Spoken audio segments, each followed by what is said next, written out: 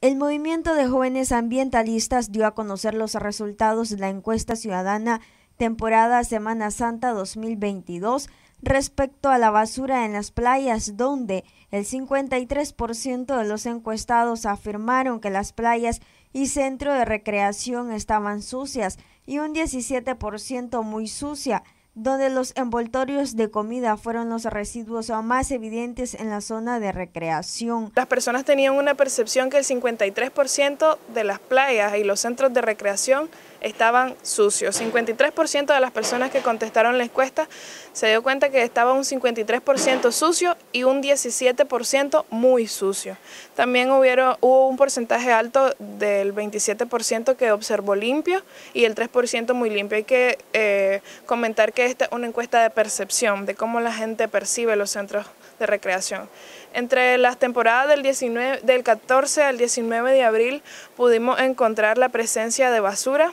Eh, las personas pudieron observar que estaba sucio, en su mayoría habiendo el, 17, el 16 y el 17 los días donde más presencia de basura pudieron observar las personas, que esto se relaciona en los días de la semana, sábado, domingo.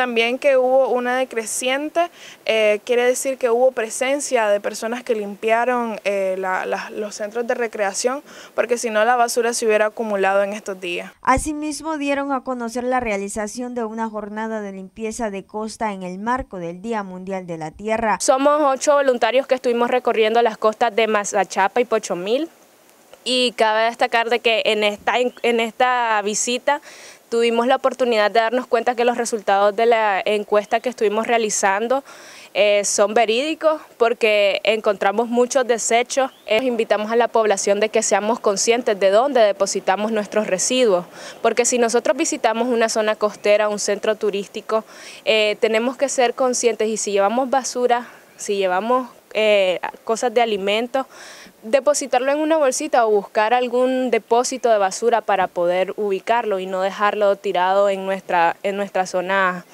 eh, costera del país.